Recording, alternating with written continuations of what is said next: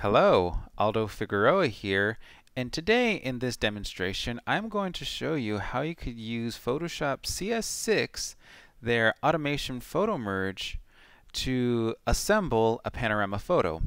Before we begin, you first need to make sure that you already have shot your panorama photo. So for example, I am running OS 10 here, and let me just show you these images that I have. So this here is a panorama that I took and you can see how each image has at least a 30 to 50% overlap. When I took these photos, I made sure that I had a tripod. If you don't have a tripod, try to keep the camera as steady as possible and rotate it along its axis. So I took these images and what I want to do now, I want to assemble all of these images as one panorama format image. So I'm going to show you how to do that right now. Uh, in addition to that, I will also show you once we've create our panorama, I'm going to show you how to do a couple of other things. Uh, some minor edits. I'm going to show you how you could straighten this panorama if it needs straightening, how to crop it, and then how to save. And once we've saved it, I'll also show how to resize it so you could get a smaller panorama. All right, let's go ahead and begin. So I already have Photoshop open, and here's Photoshop. I'm going to go to File, I'm going to select Automate, and I'm going to go to the bottom Photomerge. This is going to open up, it's a little like a helper application. First thing that we have to do, we have to supply some images. So I'm going to go ahead and click on Browse here. It's going to open up a Finder window, and it's already assigning this to this folder here that I already have. I have some panoramas, uh, my images that I just showed you. So I'm going to go ahead and select all of them. Now what you could do, you don't have to select each one individually, select open. If you want to select a whole range, I've already clicked on the first one.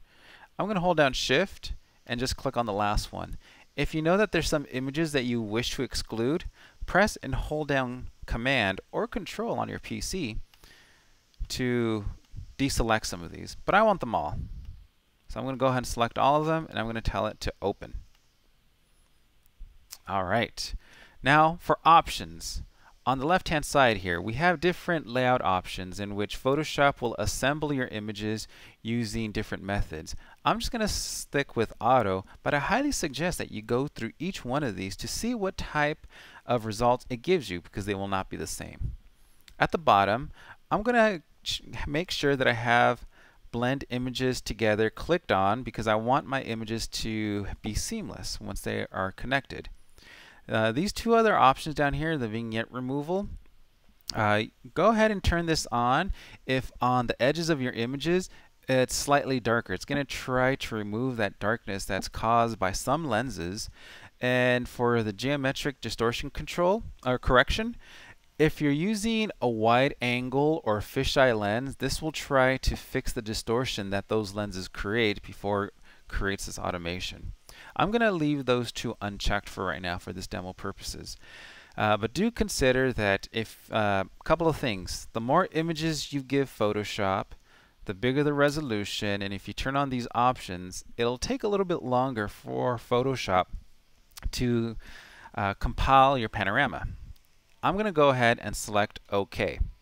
During this process, I might speed it up, so it might, uh, when I come back, it might already be done. It typically will not go that fast. But what Photoshop is doing right now, just to walk you through this, it's opening up each image and then it's copying all of the images into a new document. Once it places all the images in this new document, it's trying to arrange them. It's trying to see where they're where the images line up uh, one next to another. And then since I turned on the option of blend images together, it's going to try to blend the images where they're where they line up one to another. So it's going to create a series of uh, image mask. So I'm just going to go ahead and let this finish. It looks like it's almost done, so I didn't have to pause. Great! So here we have it. Here is my panorama. Now, I, I do suggest that you zoom in so you can see what you're looking at. Right now, I'm at 10%. So I'm going to go ahead and press Command plus or Control plus. This allows you to zoom in. Or if you want to, you could press Command 1 or Control 1 to zoom in at 100%. Command 0 or Control 0 to have Photoshop put your entire image on your screen. I'm going to press Command 1 to zoom in at 100%. I'm going to press and hold down the space bar. I get this little grabbing hand and I'm able to move side to side. So I could see that there's certain places that you know, it didn't do the Photomerge operation as good as I've liked it to, but for this demo purposes, I'm going to go ahead and leave it as that. I could always go in and see which images I might want to adjust. So say, for example, I'm going to point this out right now. You can see right here, there's a little break. I could either try to fix that by giving pho this Photomerge operation different images to use, or I could fix it post-process using Photoshop. I can also see right here, there's a couple of other errors, things to watch out for.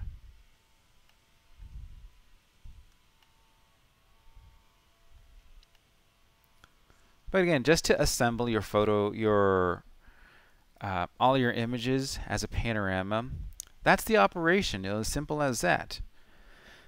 Now I want to go ahead and show you a couple of other uh, tools that you'll be able to do to edit an image like this. Simple editing. I'm not going to go into actual photo touch-ups. That will be another demonstration to come later.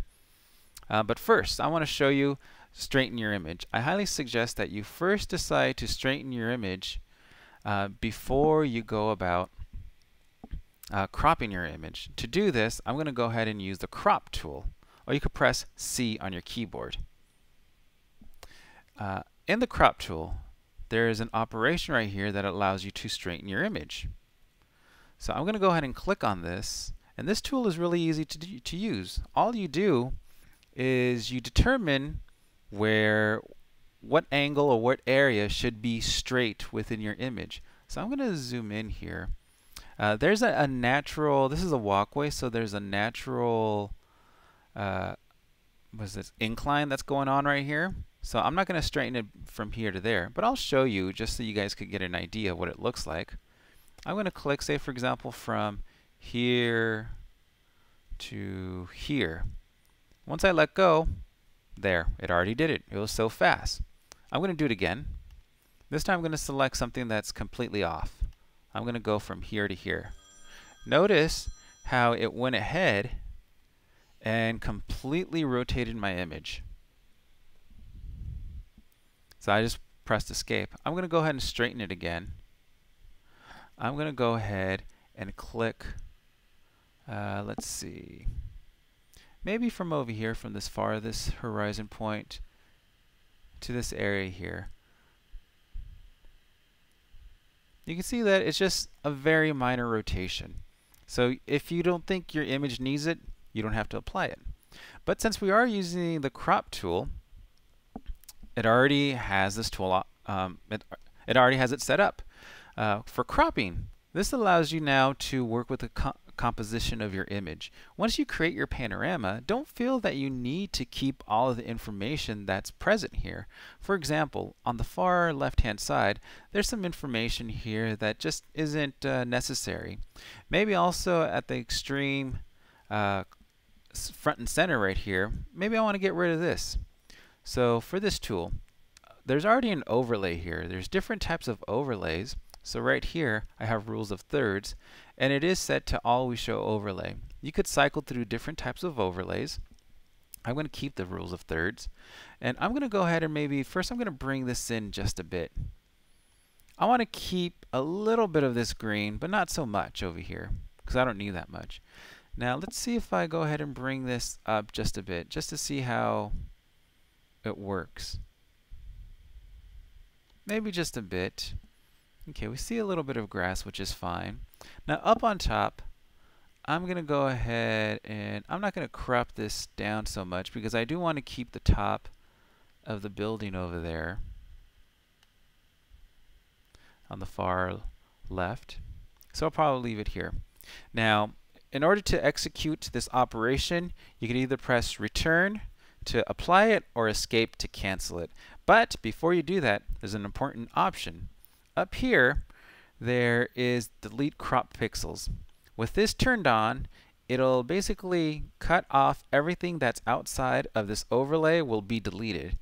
If I leave it unchecked, what it's going to do, it's basically going to resize my view within this canvas. So it'll make everything viewable within this one square. The choice is up to you. I'm going to go ahead and leave it uncropped because if I wish to go back to it later, it'll still be there. I'm going to go ahead and press return. So give this a moment to apply your crop. And here you go. Let's go ahead and zoom in. So now you can see what we have here with very minor edits. We, we could always go in and further make additional enhancements such as color, tonal uh, adjustments, um, but we're not going to go over those in this tutorial. I wanted to show you how you could go ahead and make the panorama, how to straighten it, and how to crop it. Only two things left. I want to show you how to save and how to resize.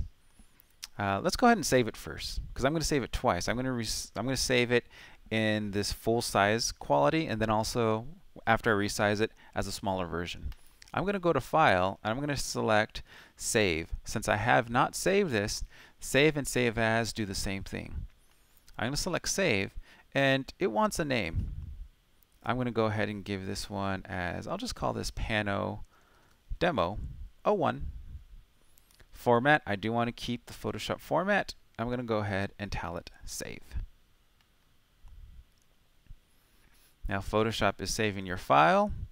Great, it's been saved. So the next thing that I want to do, I want to resize this image. To do so, I'm going to go to Image. I'm going to select, uh, sorry, I can't see. I'm going to go ahead and select Image, Image Size here.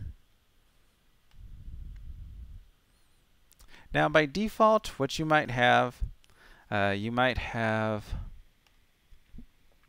uh, something like this. And within this window, it gives you two different dimensions. First, right here up on top, the pixel dimension is the data structure or the resolution of your image. You can see that the height is 1,756 pixels tall. The width is 9,010 pixels. Document size at a resolu resolution of 300, I could print out a 30 by just shy of 6 inches in height. So it's a, a decent size panorama. Uh, this only allows me to change the document size. I don't want to change that. I actually want to resize this to make a smaller version of my panorama. To do this, you have to turn on resample image. Make sure that the constrained proportions are turned on. And for this example, I'm going to change the lesser of these two numbers, this being height, down to 1000. I'm going to go ahead and select OK. And now it's going to resize my image. It's going to make it smaller.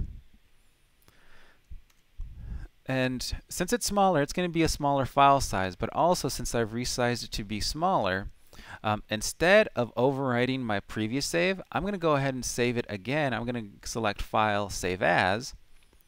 And this time, I'm going to rename it as PanoDemo 01, maybe with another name as Small because this is the smaller version and select save. Now the reason that I have this smaller version is that uh, for my class uh, I'm having them turn in a version of their panoramas. In order to save space I only need the smaller one. I still have I'm going to have my students keep their higher resolution images uh, but to turn in uh, for this step I want the smaller versions. And there you have it.